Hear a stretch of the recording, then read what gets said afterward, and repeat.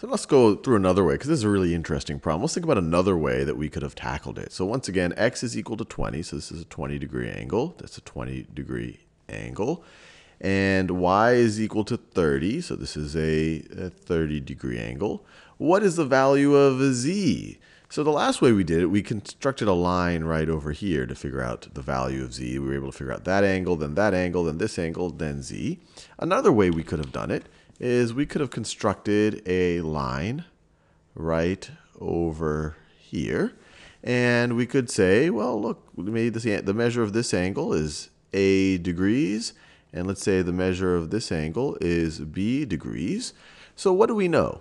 Well, we would know that a plus b, a plus b plus z plus z that's, they're all the interior angles of this smaller triangle right over here. So they're going to add up to 180. And what, is, what else do we know?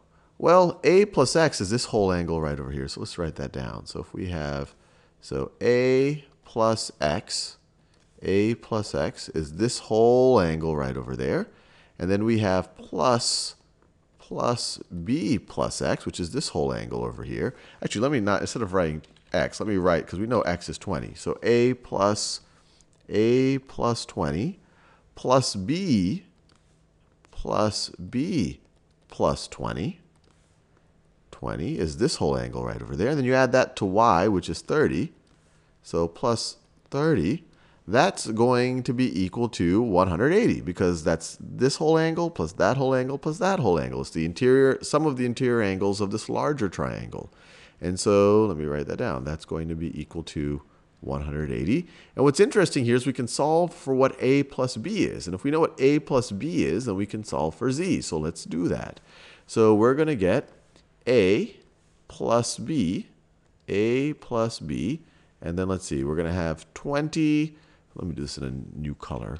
We're going to have 20 plus 20 plus 30. So 20 plus 20 plus 30 is 40 plus 30 is 70. So plus 70 is equal to 180.